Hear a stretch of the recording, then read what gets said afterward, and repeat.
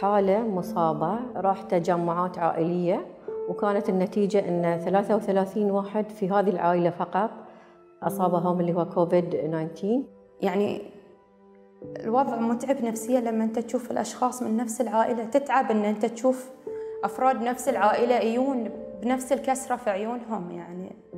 اضطرينا نحن نفصل الأم عن الولد.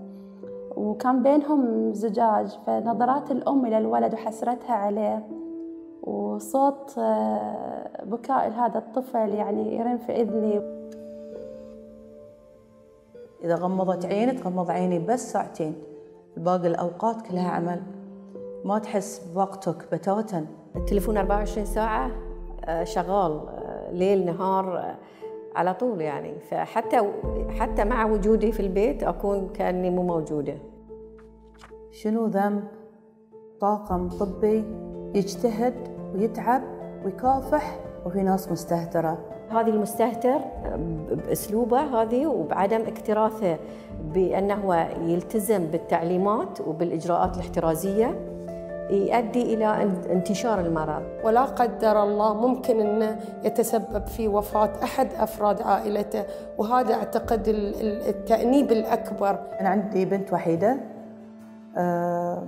كانت في الشهور الأخيرة من حملها مدة شهرين أنا ما شفت بنتي. لولا دعم زوجي وأولادي ما استطعت أن أصمد. أمي وأبوي تعبانين شوية كبار في السن وفراقهم صعب وعدم قدرتي أنني أعتني فيهم بشكل يعني مناسب يستحقونه بعد صعب علي.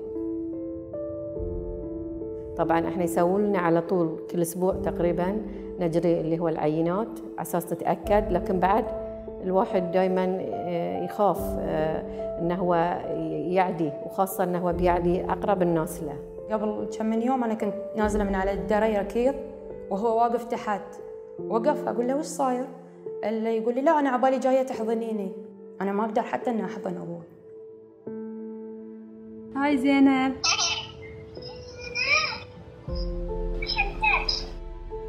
أتمنى الصحة للجميع ولا تشوفون أي مكروه. نبي بس إنكم تلتزمون. ما حد يتمنى أن أحد عزيز عليه ينحط في هذا الموقف أو أنه يكون في هذا السرير يعني. المجتمع هو سلاحنا يعني وعيه هو سلاحنا الحين في هذه الفترة.